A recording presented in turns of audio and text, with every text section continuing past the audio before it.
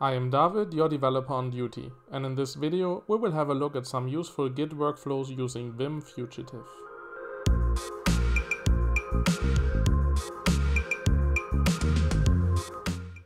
The installation is very simple. You take your favorite package manager, here I use Packer, and you just add tpope vim fugitive and install the plugin. Let's perform some changes in the Git repository and also add a new file.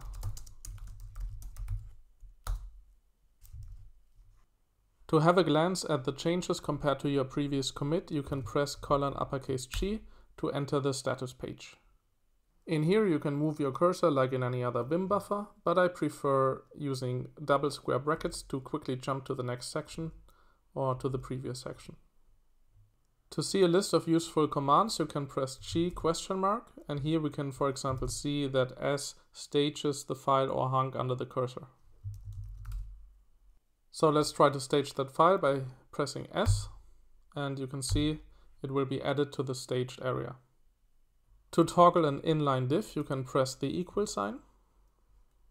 Or if you prefer a vertical difference, you can press DV, which opens it in a split and to quit it you can press DQ. You can press U to unstage a file and you can press Shift X to delete the change altogether. If you're happy with the commit, you can press CC to go in the commit pane. Here you can write your commit message, write it and quit it, and it's committed. Let's create a new branch by writing colon G checkout minus B feature X. And now let's do some changes.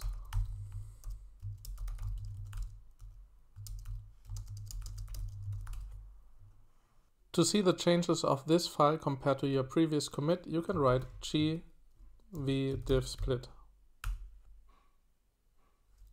You can also see the changes compared to a certain branch by writing g v diff split main, for example.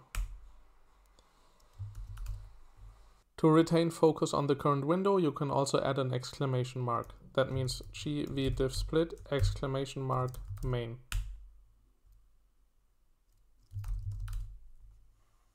Let's also make a change in another file.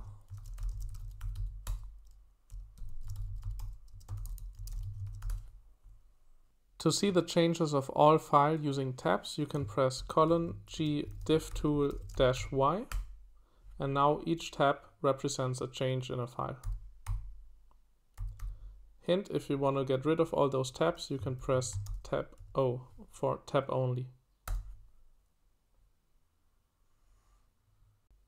You can use the gedit command to open a file in some revision. For example, gedit main file2.js.